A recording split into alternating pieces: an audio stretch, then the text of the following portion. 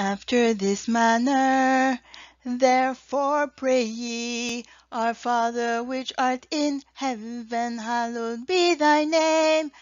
After this manner, therefore pray ye, Our Father which art in heaven, hallowed be thy name.